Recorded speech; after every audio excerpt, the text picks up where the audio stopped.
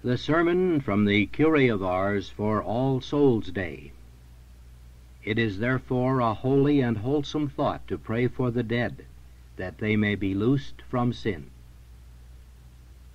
Filled with holy joy, the church looked up yesterday to those sublime regions where the saints of heaven, without number, rejoice around the throne of God, and in her gladness of heart, clad in festive garb, she let songs of praise resound in honor of those who, after having ended their life in happiness, have obtained the crown of joy of eternal life. Tell me, my dear friends, why did the church, our mother, rejoice yesterday? Why did she clothe herself in festive garments? Why did she join in joyous song as if she had a part in the eternal happiness of the blessed?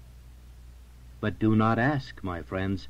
The church the mother of all Christians, the mother of all those who gained in her bosom that inexpressible bliss of heaven, rejoiced with perfect right that so many millions of her dear children obtained the crown of glory for their faithfulness and are happy and blessed for all eternity. She rejoiced as a mother rejoices when she finds that the greatest happiness has fallen to the lot of her children.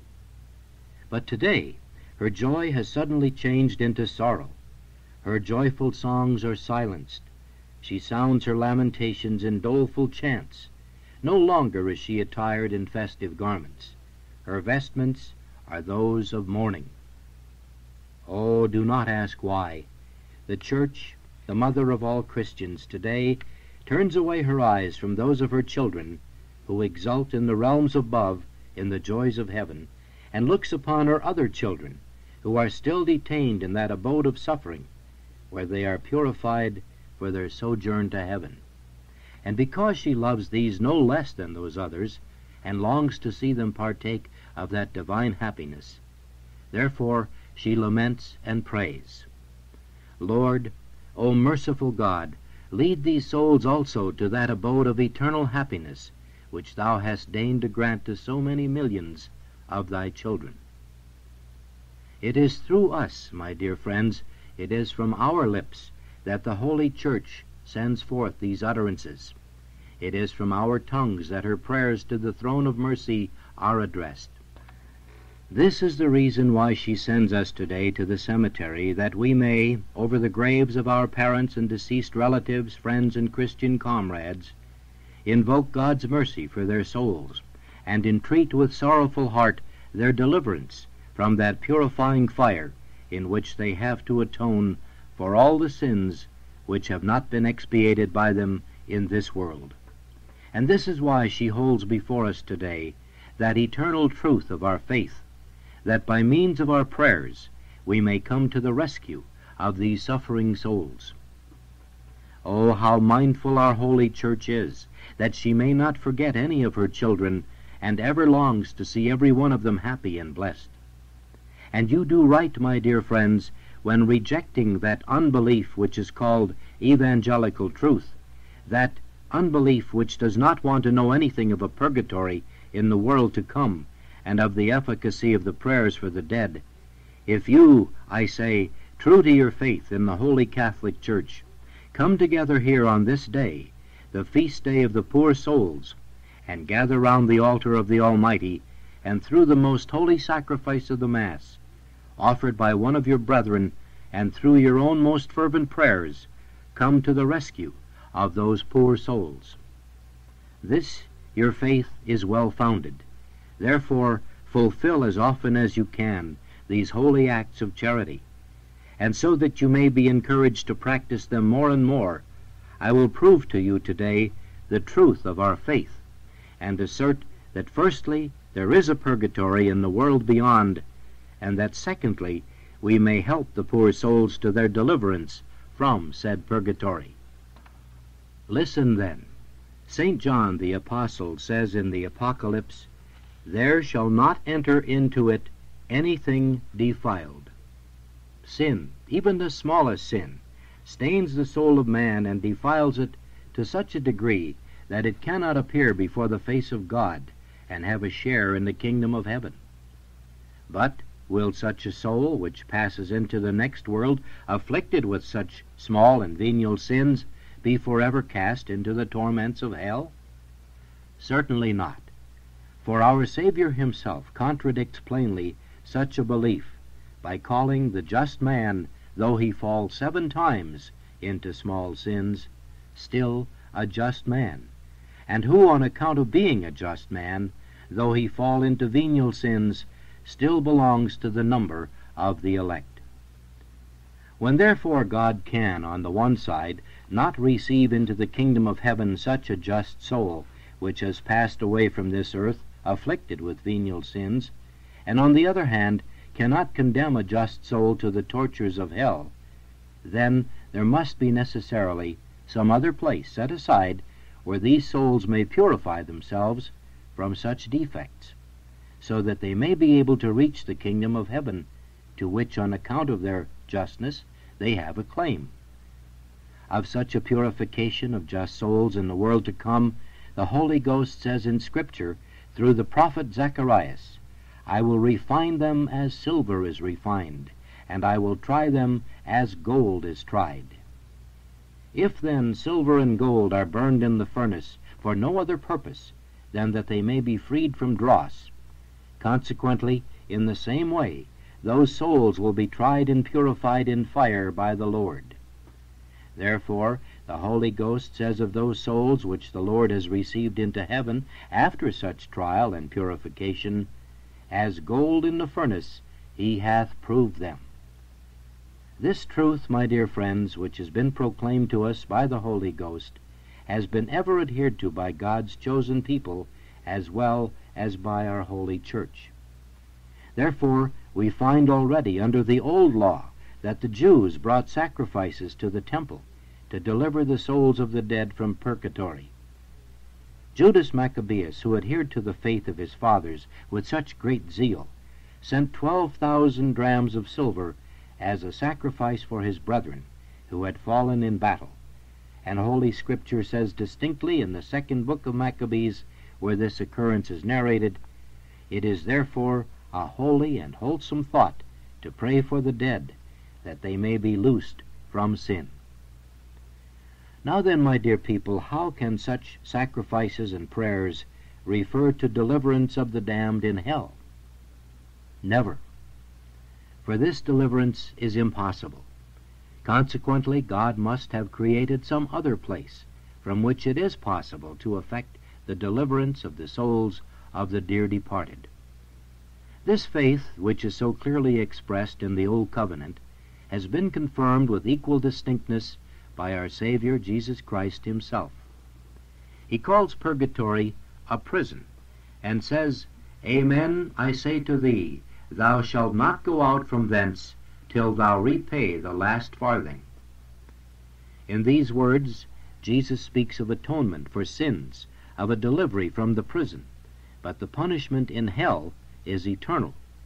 Hence he speaks distinctly of a temporary place of punishment, of a place of purification, where the souls of the just can be freed of unrepented sins, and purified for their entrance into the kingdom of heaven.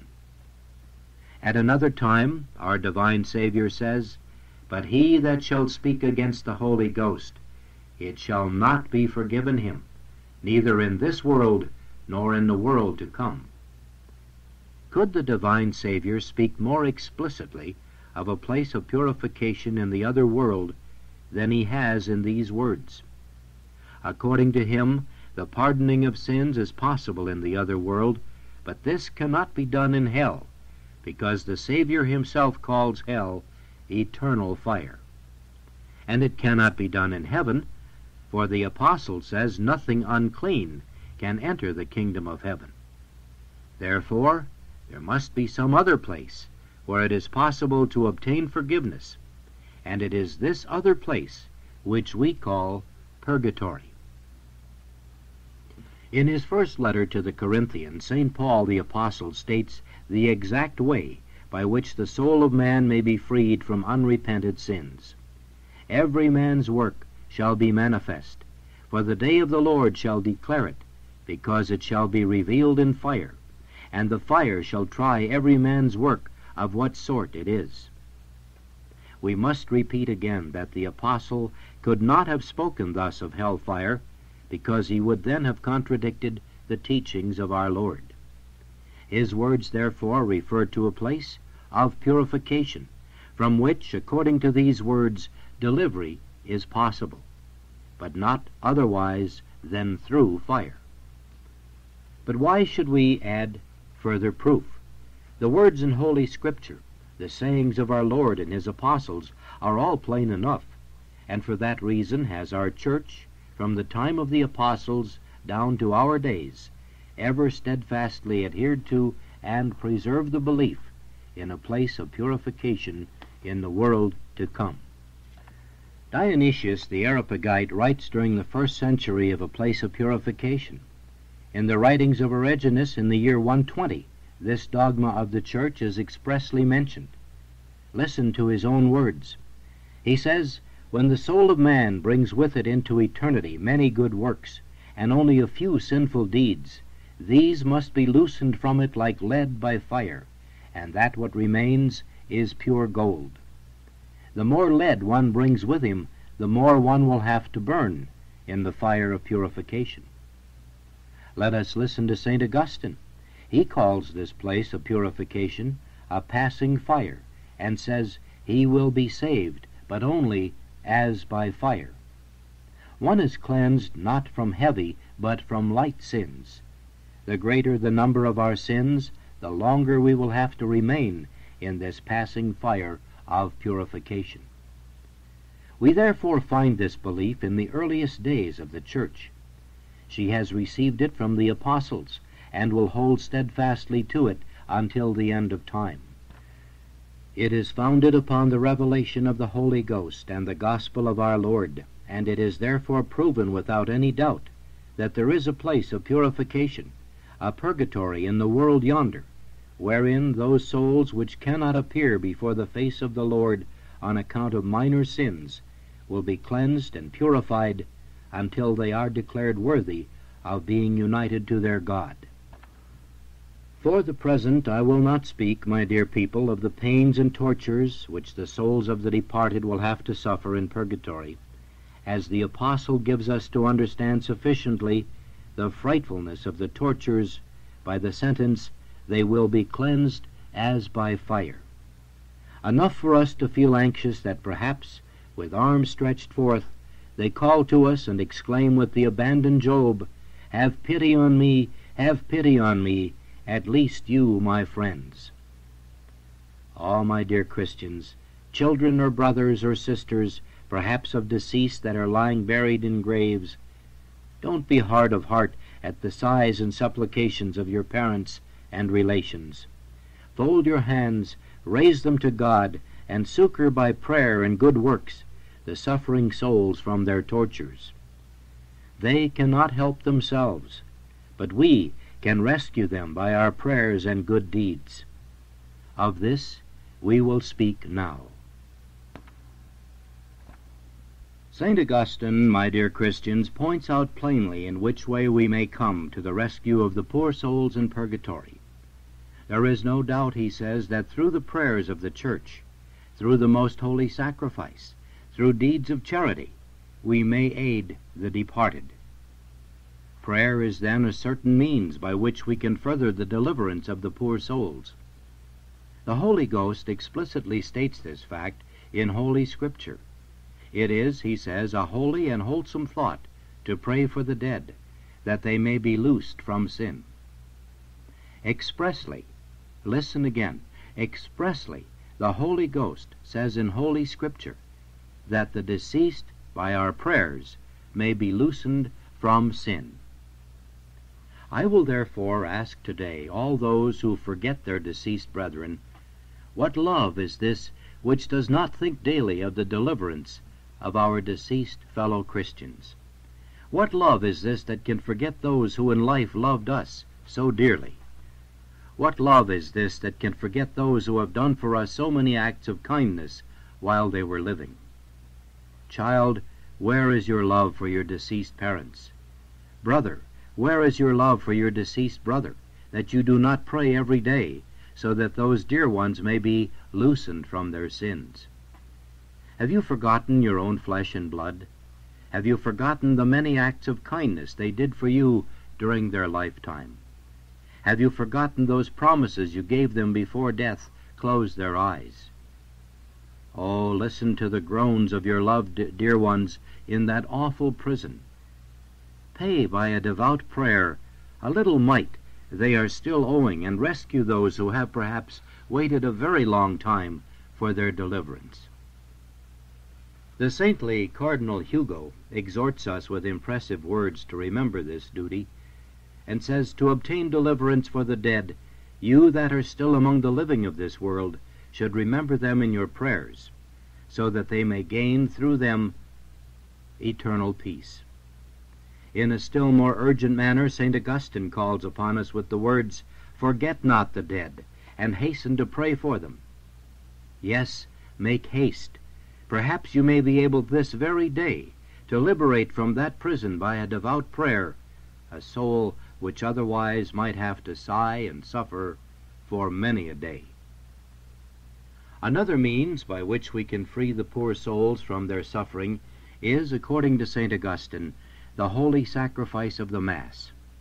St. Monica, the mother of this saint, recognized the truth of this and said on her deathbed to her son, Don't think of burying my body in magnificent style, and of embalming me, and where you will bury me. Only think of one thing, I beg of you. Remember me at the altar of the Lord, and offer up the most holy sacrifice of the Mass for the benefit of my soul. St. Monica, my dear people, knew very well that there is no better remedy for the souls of the deceased than the most holy sacrifice of the Mass. When the good Judas Maccabeus sent 12,000 drachmas to the temple in Jerusalem as a sacrifice for the benefit of his soldiers who had fallen in battle, so that by virtue of this sacrifice they might be freed from their sins, then tell me, may we not reasonably expect the deliverance of souls from purgatory by the greater virtue of the most holy sacrifice of the Mass? If the sacrifice of earthly things which have not the least value in the eyes of the Lord, and only obtain value before Him from our good intentions which accompany the sacrifice, is considered efficacious for obtaining deliverance for the souls in purgatory, how much greater must be the efficacy of the sacrifice of the Lord's own body, the value of which no man has ever been able to imagine, to aid the poor souls to their deliverance. And if the bloody sacrifice on the cross, which was able to atone for the curse of God brought upon mankind by the greatest sins of men, and which was able to open up the gates of heaven, which had been closed on account of these sins, May we not expect that the same sacrifice of our Lord offered bloodlessly on the altar would be efficacious enough to free the poor souls of a few little sins, small faults which had not changed God's love into wrath, but only dimmed it? St. John Chrysostom expresses a great truth when referring to that sacrifice which Job offered up for the purification of his children. He says, if Job's sacrifice purified his children, who can doubt that through our sacrifice of the Holy Mass we can bring consolation to the poor souls? And therefore St. Anthony is justified in saying, The most holy sacrifice of the Mass, in which the Passion of our Lord is perpetually celebrated, is in itself the finest and best remedy for the souls in purgatory. It is the staff upon which they raise themselves into heaven and eternal rest. By authority of Scripture and the Holy Fathers, the Church pronounces this dogma and says the souls in purgatory are aided by the holy sacrifice of the Mass.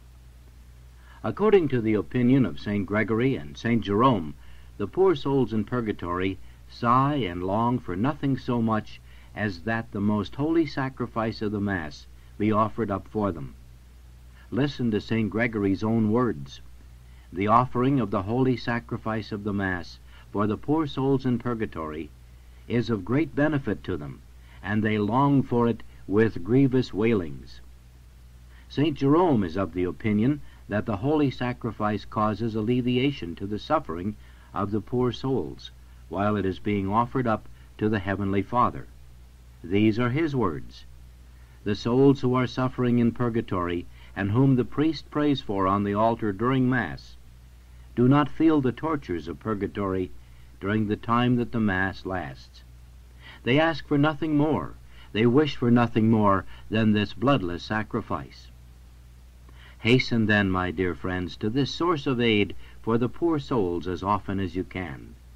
Offer up to the Heavenly Father with the priest on the altar the Lamb of God as a ransom for their sins. Offer up the great merits of this holy sacrifice for their faults and shortcomings, for which they still may have to suffer. And pray, O Lamb of God, who takest away the sins of the world, give these poor souls eternal peace. A third medium by which we can be of help to the poor souls in their sufferings are works of charity. Do not let us stop to ask for a proof of this. If we can turn the merits of our prayers, the merits of the most holy sacrifice of the Mass, over to the benefit of the poor souls, we can, in like manner, turn over the merits of our works of charity, which we are practicing for the good of suffering humanity, for the benefit of the poor souls.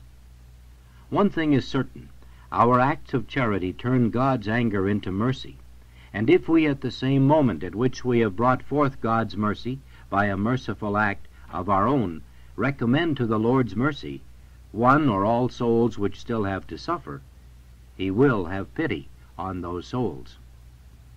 The Holy Ghost says, Water quencheth a flaming fire, and alms resisteth sins. Therefore St. Augustine is justified in saying, The alms of a Christian is a sacrifice of propitiation, whereby God's wrath is appeased toward the sinner. Yes, continues St. Chrysostom, alms does even more. It stands before the judgment seat of God and asks the Lord not only for mercy, but also moves him to pronounce a merciful judgment. See then, O Christian, alms loosens from sin, extinguishes sin. It appeases God's wrath before the sinner. It moves him to pronounce a merciful judgment over the sinner. Well, then, a little gift, a small part of your earthly goods, a little something from that which your deceased friends have left you, give it to a needy person and say, O merciful God, I offer thee this gift of charity in the person of this poor man. Be merciful to those souls that are separated from you and are still suffering in purgatory. Remit their sins and deliver them from their sufferings. Thou hast said, Give, and it shall be given to you. See, O Lord, I give to this poor person, I give to thee.